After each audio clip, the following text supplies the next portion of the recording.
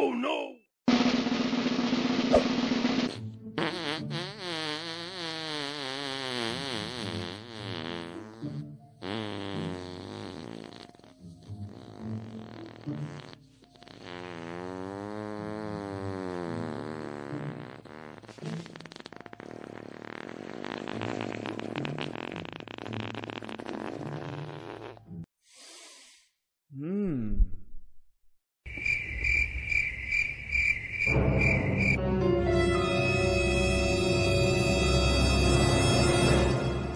His name is John C.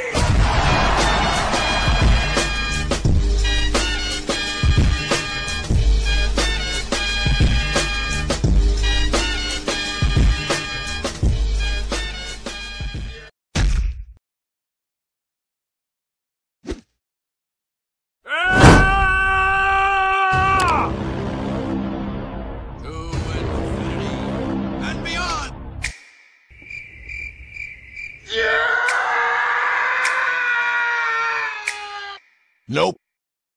Nope.